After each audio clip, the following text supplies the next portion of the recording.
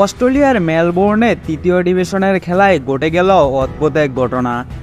যেখানে বলার বল করেছে বলটি গিয়ে আঘাত হানে মিডিল স্টাম্পে কিন্তু অদ্ভুতভাবে বেলগুলা না পড়াই সেটিকে নট আউট ঘোষণা করেছে আম্পায়ার যার মধ্যে দেখা যায় অফ স্টাম্প ও লেগ স্টাম্পের উপর বর করে বেল দুটি নির্দ্বিধায় বসে আসছে এবং হেলে আছে মিডল স্টাম্প আর তাতেই নোট আউট দিতে বাধ্য হন আম্পায়ার।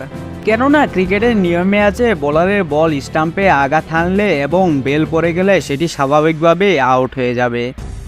কিন্তু যদি কোনো বোলারের বল স্টাম্পে গিয়ে আঘাত হানে এবং স্টাম্প কিছুটা হেলে যায়, কিন্তু বেলগুলা স্বাভাবিকভাবে বসে থাকে, তাহলে সেটি নট আউট হবে। এবং বলারের বল স্টাম্পে গিয়ে আঘাত হানলো। আঘাত হানায় স্টাম্প মাটি থেকে উপড়ে গেল, কিন্তু বেলগুলা স্বাভাবিকভাবেই বসে আছে। সেক্ষেত্রে সেটিকে আউট বলে গণ্য করা হবে। যার ফলে স্ক্রিনে যে ছবিটি আছে, সেটিকে আম্পায়ার নট আউট বলে গণ্য করেছে।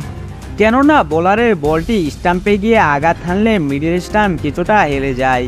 কিন্তু বেলগুলা স্বাভাবিকভাবেই বসেছিল। তাই আম্পায়ার সেটিকে নট আউট বলে ঘোষণা করেছে। প্রিয় দর্শক স্টাম্প ভেঙে গেছে, কিন্তু সেটি আউট হয়নি। এ নিয়ে আপনাদের কি মতামত তা কমেন্ট বক্সে লিখে যাবেন।